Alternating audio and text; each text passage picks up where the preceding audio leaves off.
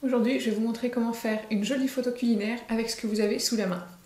Vous avez reconnu, c'est une cuillère à glace. Moi, je vais faire des photos de glace. En plein novembre, oui. Dans la dernière vidéo, je vous donnais plein d'idées de choses à faire pendant le confinement, pour vous occuper, pour rester créatif et compagnie. J'espère que je vous ai inspiré. N'hésitez pas à me dire dans les commentaires tout ce que vous avez fait ou tout ce que vous comptez faire euh, tant que ce confinement dure. En tout cas, je me suis inspirée toute seule. Depuis quelques jours, je m'entraîne à refaire de la photo culinaire. Alors le culinaire, euh, c'est pas ce que je fais en temps normal euh, en tant que photographe, je suis plutôt dans le portrait, nouveau-né, mariage ou alors dans, les objets. J'en ai notamment fait deux euh, la semaine dernière, toute seule chez moi avec ce que j'avais sous la main, donc pas grand chose, des betteraves et des gousses d'ail.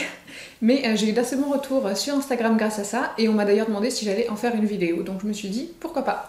Donc aujourd'hui, je vous amène avec moi ici, où on va créer ensemble une photo culinaire de glace. Le thème de la vidéo du jour, c'est de faire une jolie photo de quelque chose de comestible. Ne vous inquiétez pas, ce n'est pas de cuisiner quelque chose de beau. Dans cette vidéo, je vais surtout vous expliquer les différentes étapes de réflexion avant la prise de vue. Nous aborderons ensuite le stylisme, l'importance de l'angle de vue, les formats possibles, avant de parler de composition pendant que je ferai ma propre photo. Par contre, je ne mentionnerai pas les réglages photo. Cette vidéo est destinée à tout le monde, peu importe votre niveau en photographie et votre matériel, je ne préférais donc pas dériver en technique pure pouvez tout à fait essayer le culinaire avec votre téléphone pour commencer. Euh, j'ai appris un petit peu les photos culinaires pendant mon école de photo et j'en ai aussi fait euh, pas mal pendant mes 4 années chez Alinea. Je vais vous mettre d'ailleurs tout au long de la vidéo quelques photos que, j'ai fait euh, ces dernières années. Premièrement, comme toujours en photographie, il va vous falloir un sujet. Dans le culinaire, tout va découler du sujet que vous avez choisi. Donc dans mon cas, je vous l'ai déjà dit, ce sera des glaces. En fait, j'ai acheté une machine à glace ce mois-ci à mon copain qui fait son anniversaire. Du coup, il a fait des glaces hier. Donc euh, c'est parfait, j'en ai euh, deux parfums au congélateur. C'est bon? Vous avez votre sujet? Maintenant, il va falloir définir vos couleurs. Donc définissez les couleurs principales et puis les couleurs secondaires. Dans mon cas, ma couleur principale sera le blanc beige et ma couleur secondaire, euh, les teintes rouge, rose, violette. Le blanc étant une couleur très très neutre, on va dire qu'elle ne compte quasiment pas, donc je sais que j'ai du rouge. Il va falloir que je trouve d'autres couleurs qui pourront aller avec, mais attention, évitez d'avoir trop de couleurs dans vos photos culinaires. Le rendu sera beaucoup plus joli si vous restez dans, des teintes cohérentes, harmonieuses ou dans un camailleux d'une même couleur. Il faudra trouver le thème, l'histoire. Qu'est-ce que vous voulez raconter avec cette photographie?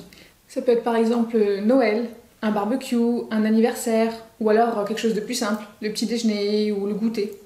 Moi, du coup, ce sera euh, le thème des glaces faites maison en hiver. Maintenant, vous pouvez définir le style.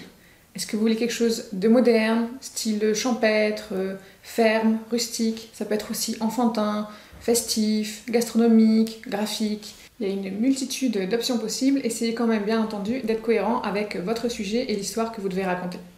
Une fois que vous avez tous ces éléments, donc euh, sujet, thème, couleur, style, vous allez pouvoir passer au stylisme. Il s'agira des objets, des accessoires et des ingrédients qui vont s'agencer autour de votre sujet principal. Il peut s'agir de vaisselle, de couverts ou d'ustensiles, de petites touches de végétal ou de fleurs, bien entendu des ingrédients, des objets déco, du textile, ou alors des objets lumineux comme des guirlandes, etc.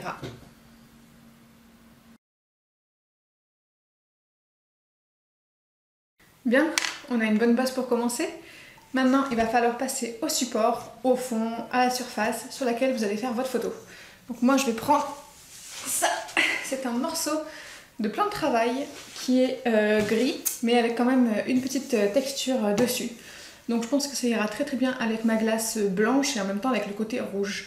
Ne vous inquiétez pas, vous pouvez aussi utiliser une table, une nappe, même le sol, pourquoi pas. Il existe sur des sites en ligne des fonds euh, plastifiés avec des motifs dessus, donc motifs marbre, motifs bois et compagnie. Moi, personnellement, je préfère utiliser de vraies matières. J'ai tendance à photographier au macro, donc euh, je trouve que ça se voit si c'est euh, juste un fond plastifié et je n'aime pas trop ce rendu. Mais si ça vous intéresse, vous pouvez quand même chercher des renseignements là-dessus sur internet.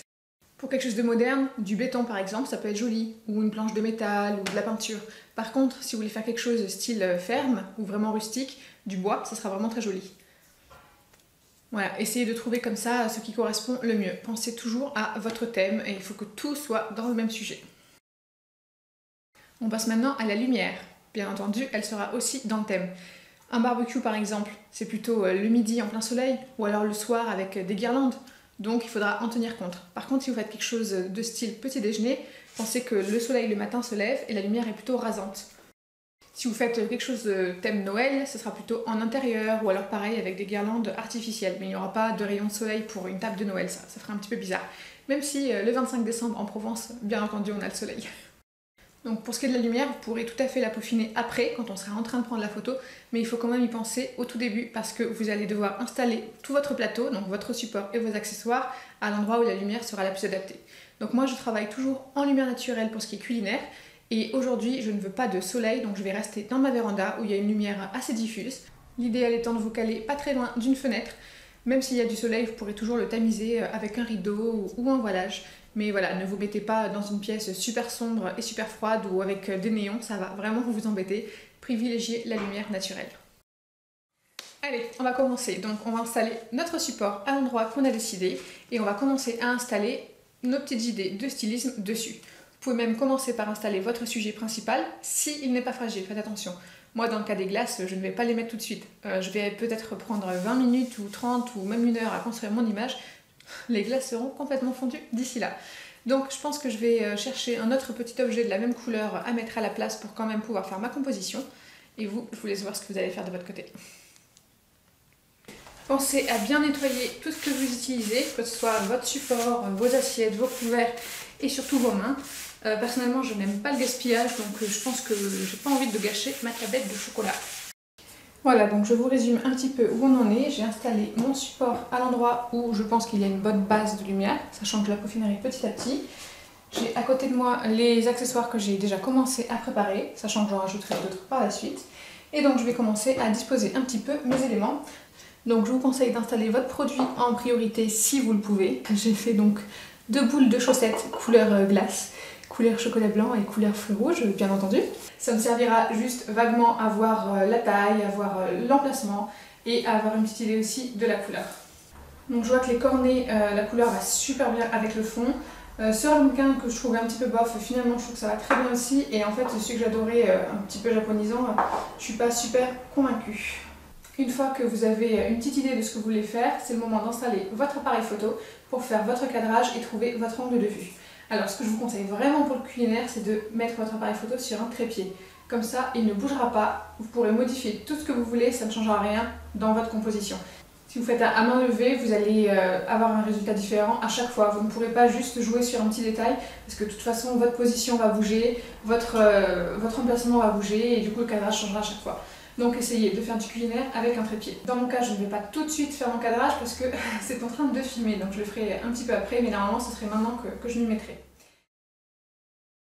Par exemple, si je décide du coup d'utiliser les cornets, euh, ce sera vraiment plus joli de façon frontale ou alors du dessus. A l'inverse, si j'utilise des bols, euh, du dessus ça sera moins joli parce qu'il y aura une boule par-dessus l'autre. Euh, frontal, ça sera pas très joli non plus parce que du coup on manquera beaucoup de produits qui sera caché là de contre-plongée, ce serait idéal. Donc euh, c'est maintenant qu'il faut euh, décider. Votre angle de vue et votre cadrage doivent bien entendu mettre en valeur votre produit, mais ils peuvent aussi, encore une fois, jouer sur le thème et l'histoire que vous voulez raconter.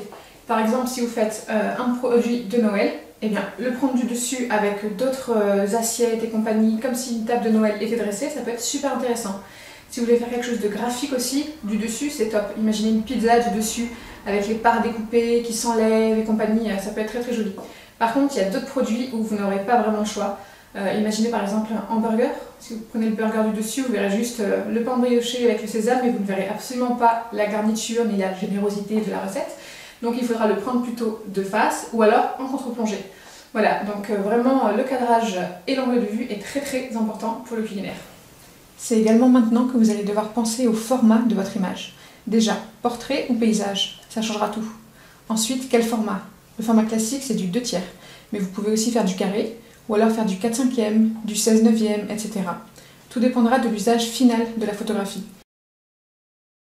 Bien sûr, on peut recadrer en post-production, mais que ça soit bien clair, vous ne pourrez pas faire de gros changements. Si je construis ma photo en 2 tiers paysage et que je dois la transformer en 4 5 e portrait, eh ben je vais devoir couper dans énormément d'éléments, peut-être même dans mon sujet principal. N'oubliez pas, Photoshop est un outil, ce n'est pas la solution. Il faut vraiment que vous pensiez aux éléments principaux pendant votre prise de vue. Donc je vais commencer à imaginer que, je fais du dessus et je vais commencer à disposer un petit peu mes produits comme je le ferai euh, de façon finale avec mes vraies glaces tout à l'heure. Est-ce que je joue sur un cornet avec deux boules ou est-ce que je joue, pourquoi pas, sur deux cornets? Ça peut être très sympa aussi. Donc, vous vous en doutez, la photo culinaire doit donner envie, soit envie d'acheter le produit, soit envie de réaliser cette recette. Euh, dans mon cas, ça serait plutôt envie de m'engager moi pour faire des photos culinaires, peu importe, en tous les cas, il faut donner envie. Et euh, du coup, il ne faut pas hésiter à être dans la gourmandise et à être également dans le réalisme. Donc, euh, mettre des petites imperfections, c'est top en photo culinaire. Donc là, mon chocolat, je pense que je vais en casser des petits morceaux, je vais peut-être même faire des petits copeaux. Yes.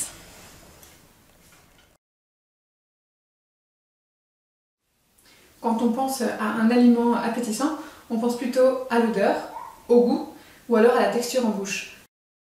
Pour la texture, on va jouer aussi sur le visuel en alternant différentes textures. Là par exemple, il y aura la texture du cornet, la texture du fond, la texture de la glace. Et pour ce qui est du goût, eh c'est là qu'on va jouer sur les ingrédients. Il faut qu'en voyant euh, la photo, les gens comprennent à quoi c'est. Donc euh, dans mon cas, ce sera au chocolat blanc et au fruits rouges, mais si on voit que la boule de glace, on ne peut pas le deviner. Donc je vais mettre du chocolat blanc, des petits carreaux, des, des copeaux de chocolat peut-être pour euh, susciter un petit peu la gourmandise, et je mettrai également quelques fruits pour montrer à quoi c'est. Essayez différents objets, différents placements. Pour moi, une photographie d'objet se construit pas à pas, comme un puzzle.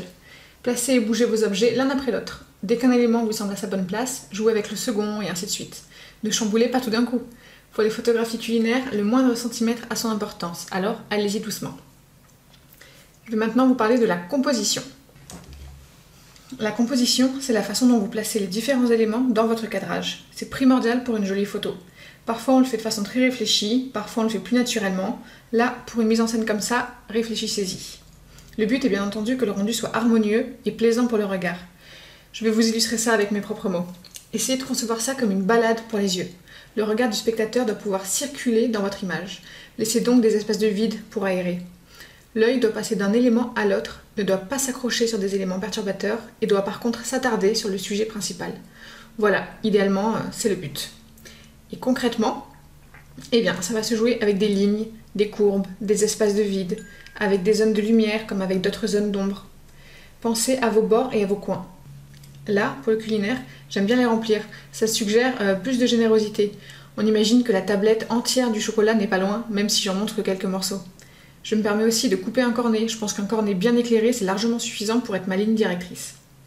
Une petite règle en photographie, alors c'est pas obligatoire, mais c'est quand même souvent de rigueur, utilisez des éléments impairs, surtout pour les petits éléments stylisme. Ne mettez pas deux fruits rouges, mais préférez en mettre trois ou alors cinq. Je vous montre maintenant ma photo finale et retouchée. Personnellement, mon œil est attiré par la boule de glace aux fruits rouges. C'est le plus lumineux, c'est le plus coloré et c'est près du centre, donc c'est ce que je vois d'abord. Ensuite, mon œil descend par la framboise et est de suite attiré par le cornet principal qui est très bien éclairé. Il suit ensuite sa forme évasée et remonte. Je vois la boule de glace blanche, puis le morceau de chocolat blanc à sa gauche. Je comprends donc à quoi elle est. L'éclat de lumière dans la cuillère à glace en haut attire mon regard, mais la cuillère elle est coupée. Grâce à son manche, mon regard redescend vers la glace aux fruits rouges. Il continue ensuite descendre pour regarder les différents fruits et le ramequin rempli d'érelles. Mais la boucle peut continuer. Mon œil peut remonter par le bas du cornet qui est juste à droite et faire un nouveau tour sur cette photo. Donc je trouve que la composition fonctionne bien. L'œil circule comme il faut, tous les éléments sont compris et il n'y a rien qui accroche mon regard et qui va faire en sorte que j'arrête de regarder le reste de la photo. Donc c'est vraiment le but que vous devriez atteindre. Et voilà, c'est terminé pour cette vidéo qui était finalement beaucoup plus longue et beaucoup plus complète que ce que j'avais prévu de faire. J'espère quand même que ça vous a intéressé et que ça vous servira. N'oubliez pas d'utiliser le hashtag et sur Instagram si vous suivez des astuces grâce à mes vidéos. Comme ça, je peux aller voir ce que vous faites. Je vous dis à bientôt pour les prochaines photos et bon courage pour la fin du confinement.